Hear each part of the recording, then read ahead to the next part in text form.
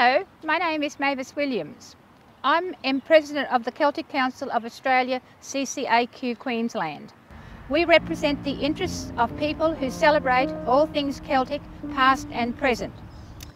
This includes the nations of the Irish, the Welsh, the Cornish, Galicians, Bretons, Scots, Manx, Galicians and Asturians. We are proud to support the individual Celtic nations when they celebrate their special events in this calendar.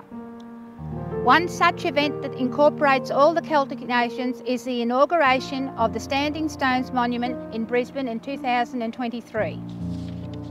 The main purpose of the Circle of Standing Stones was to be a solar observatory supporting the seasonal calendar of the Celtic year. They were likely places of the ceremonies of worship, healing, and in some cases, it's possible that the stone circle was a local social gathering place.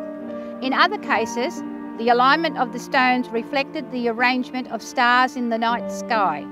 The Southern Cross is the emblematic constellation of Australia, and this is the cruciform alignment chosen for this Brisbane monument.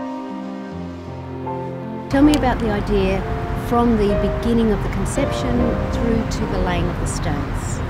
Well, in the year of 2015, Vice President Robert Ward and myself came up with the idea that we felt that Queensland needed a Celtic monument, Standing Stones monument. So we put the idea to the committee and went through the process and um, after all these years we have finally now come to fruition. The Celtic Council of Australia in Queensland was formed in the year 2003 and became incorporated in the year 2014.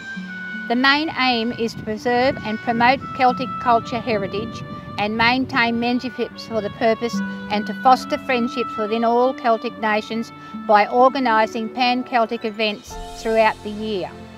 Also by recognising those who have contributed to this Celtic cause with the awarding of Celtic honours. Celtic Council of Australia and Queensland Incorporated has also formed its own Celtic Nations Pipes and Drums Band to maintain the musical heritage. The band performs at different Celtic Nation events and other community events when there is an opportunity for them and required. I would like to send a message to all Celts and Celtic nations around the world that we now have a Celtic Standing Stones monument in Brisbane, Queensland.